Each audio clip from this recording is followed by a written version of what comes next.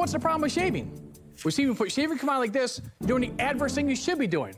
I'm not exfoliating my skin. Legacy Shave. This is a modern shave brush for modern times. Watch how quick and easy this is. One small pump, the product comes right through the brush. Oh, wow. This little bit, this is all you need. I'm going to give you a million dollars for 100% of your company. Whoa. What? Wow. And I will give you a royalty of 3% of the net sales. 5% equity of our company still.